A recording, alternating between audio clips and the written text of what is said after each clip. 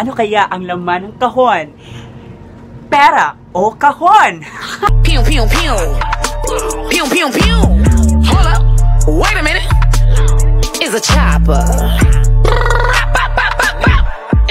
Hey guys, so welcome back to my channel and welcome back to my vlog. This is again Dan Medino, not your favorite vlogger. Yes, oo. so ayan na. So ngayon may bago naman tayong video. Ah, kasi nga nakapag-rest din na naman ako. Right. So aside po guys. So kada ah, kada rest day lang ako nagahimo og vlog pero depend depending on my ano, my mood. Yes po. Oo, pag ganun ko mag-vlog then I will do a vlog. Sure. Magdili, dili yun. And isa pa, nag-iisip ako ng mga content kung ano ba yung ah, gagawin ko or uh, i-vlog ko. And now, naisipan kong i-vlog. ah mag-unboxing po tayo ngayon. Ayan, so since Oo, itong bagay na to, ah, hindi ko pa siya na-unbox before kasi that's ano, that's my gift for my graduation sana. Eh di, kaso, hindi natuloy yung graduation namin. So, nakapag pictorial lang kami, pero hindi kami nakapag, ano, nakapag graduation pictorial kami, pero hindi kami nakapasok. So, mm, because of, you know, because of the uncertain, uncertain, because of the, ano, of, of the pandemic na we are facing right now. Oo. So, kaya hindi natuloy kasi nagka-COVID tayo. Oo. So, since hindi ko pa siya nagamit, oh, itong bagay na to, isa sa mga ano, binavalue ko siya kasi alam niyo yun, first time ko siyang first time akong maka ano, makabili ng ganito na maganda yung quality and medyo pricey siya konti for me ha. Price siya konti for me. Kasi alam niyo yun, oo. Ito yung bagay na dapat isusuot ko sa graduation day ko. And sad to say, hindi ko siya nasuot. Oh. Yes. So, ito ang ating sapatos unboxing. Yes, mag-unbox po tayo ng ng aking sapatos na susuotin sana sa graduation ko. Okay, so let's not wait any longer. Yes, so let's start unboxing my sapatos. Ayan. So, here it is. Ayan guys, so Ayan, so as you can see, oo, sa G-Store ko siya nabili sa sa G Mall Tagum, yung sa highway, yung malaking mall doon sa Tagum. So, I bought this I bought these shoes um, last January pa po. And uh, hindi ko siya nabuksan kasi yun nga, gusto ko siyang ano, ah, siguro nasukat ko siya doon sa mall. Pero yung sinuot ko talaga kasi sinuot ko siya ano ba?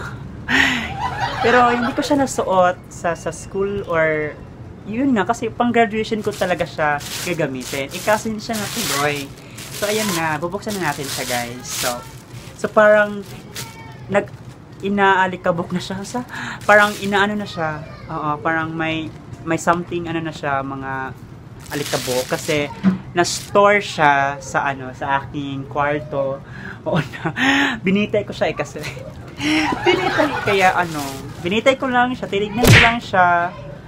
And then, hindi ko siya nabuksan simula nung time na yon. Kasi this is my ano sana, my uh, one of my gifts for my ano graduation day na susuotin ko kasi pangarap ko po talagang magkasapatos na alam mo yun, yung good quality, yung yung bang ano, yung comfort, comfortable to wear with ah, char. Ah, yung comfortable ako suot comfortable suotin. So, ito siya.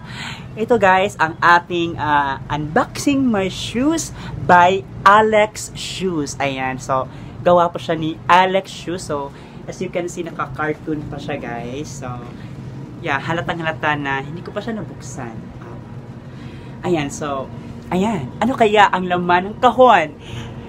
Pera o kahon? ayan, so, yeah, let's find out sa pagbabalik ng kapamilya, mas winner ka!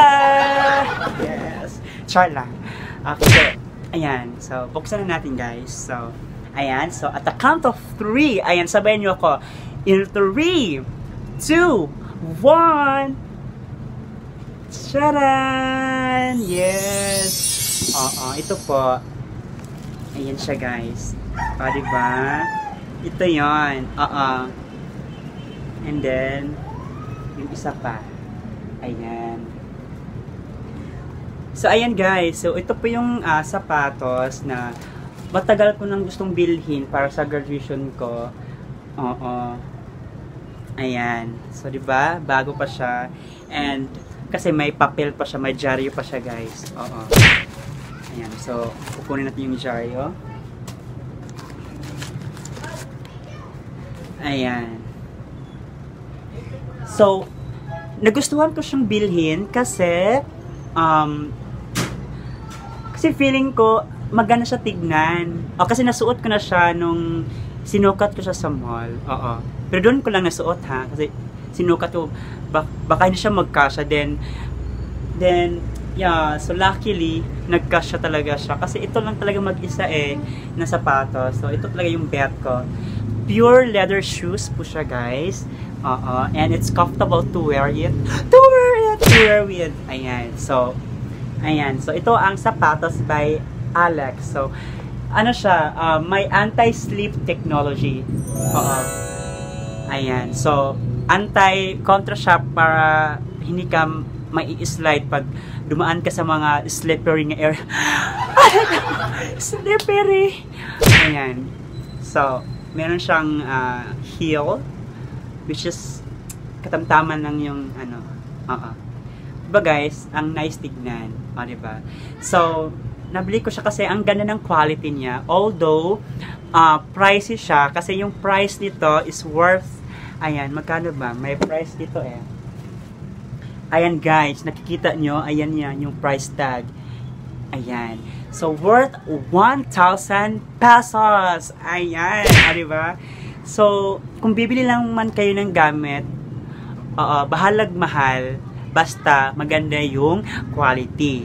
Kasi pag maganda yung quality, magtatagal ang gamit mo. Oo, or gamit nyo.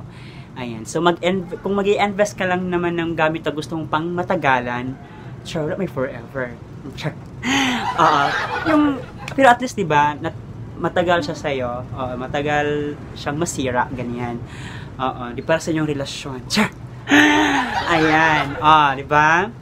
So, ayan guys. So, mm -mm. and you know what? Um, in my humble, humble, first time ko pong maka, makasapatos ng ganito. Promise. In my entire life, since then, nung nag-start ako mag-aral, alam mo yung sapatos ko, ano lang, hiniram, minsan, ano, sa graduation, sa elementary, hiniram lang. Tapos, nung hinihiram, yung daan na sapatos, na ginagamit ko araw-araw sa school, yun din yung ginamit ko pang ano, yun lang din ang panggamit ginamit ko pang graduation. So, same nung high school din, oo. Kaya okay lang yung sapatos ko. So, ngayon, oo, nakabili na ako ng sapatos, pero matagal na to guys, sa January this year. So, pinag-ipunan ko po talaga, no, kasi gift ko to sa sarili ko, sa graduation ko. Oo.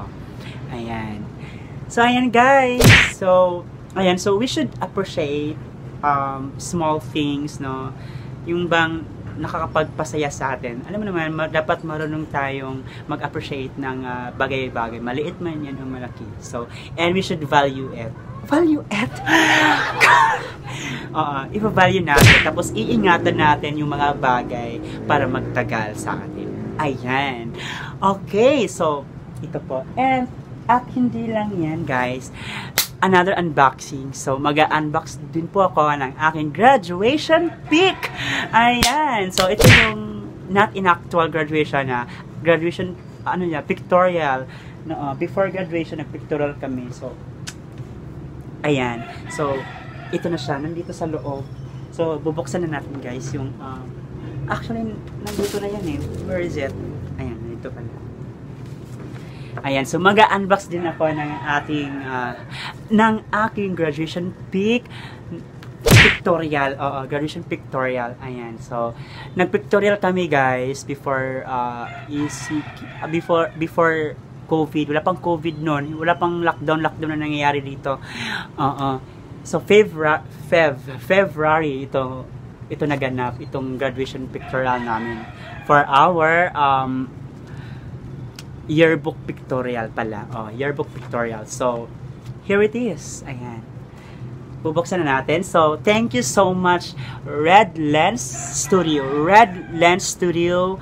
So, ano, from, ano siya, Davao City. So, Red Lens Studio, W, uh, WB, um, nakahanap siya sa Davao City. Ayan, so guys, bubuksan na natin. Ayan, so ito po yung, um, ayan, yung hard copy ng graduation pic ko. And of course, ito yung sa OJT. Ayan. O, diba? Napaka-fierce, napaka-glass skin. Oo, compare the difference. Napaka walay tatsa. Oo, compare sa original. Oo, diba? Ang layo. Pero ang gwapo ko dyan, sobra. Ang lakas makalalaki ko dyan. Oo. Ito rin. Oo. O, diba? Nakaka-smile. So, thank you so much. So, may maliit din itong ano, mga pictures na dito sa loob. So, ayan guys. So, ayan lang. So, yun lang po. Mm-mm. So, maraming maraming salamat. And it's time to shout out. Ayan, so isa-shout out muna natin yung mga nagpapa-shout out. Yes, hello there sa inyo kay Ate Zanette na hindi ko na-include sa aking vlog net last week. And of course, my Jolly Panabo Highway family, thank you so much. Um, sino pa ba? Ate Zinette, Miming, Bobby, hello Bobby, Mom Jerry's of course, and uh, Catherine, yung mga friends ko sa Jollibee, Cathy, lahat ng mga OSS dyan, and of course, uh, my Jollibee Panabo Highway Crew, family, na-mention ko na. And of course, Ma'am Joanne, so sorry talaga Ma'am Jo, so alam ko, I heard that you invited me to, ano, to kuyog-kuyog sa imuhang mga laa goals, but I refuse it. Oh, I'm very sorry talaga ma'am. Pero next time, so sana maka ano ma makasama kita sa vlog ko kasi I'm looking forward na makasama kita kasi ang social ng mga ano mo, mga laag goals, hindi ko pa hindi ko pa yan ma-achieve ngayon. Not now, but soon. Paglalago yung YouTube career natin. Char! I, I love you, Ma'am Jo. Thank you for not forgetting, forgetting me. Oh, sure. Tama pa. Yeah, so next time lang tayo mag ano ma'am ha. So for now parang busy-busy pa po ako kasi naghihikot pa po ako sa aking mga application. Oh, kasi kailangan ko na mag-step up, kailangan ko na maghanap ng trabaho, naghihimo pa ako ng mga application letter and all. So, ayan. So, next time na po yung mga laglahag. Ayan. Thank you so much, guys. I hope you guys are all safe, healthy, stay beautiful, and kind, stay handsome. Char. And of course, maraming maraming salamat. So, ayan guys. So, abangan nyo po yung pinaka-request na vlog ko sa susunod na mga araw. Ang Jojo Wine o Totropine Challenge Keke Edition. Yay! Ayan! So, thank you so much. This is Dan Madino, not your favorite vlogger.